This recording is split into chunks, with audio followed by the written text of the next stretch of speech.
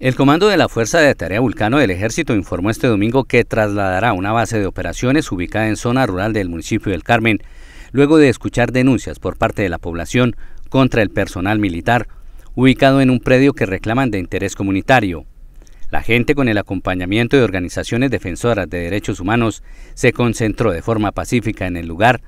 para denunciar violaciones a los derechos humanos. Según un comunicado, se habían presentado amenazas, intentos de abusos sexuales, hurtos en los cultivos y objetos personales, entre otros hechos.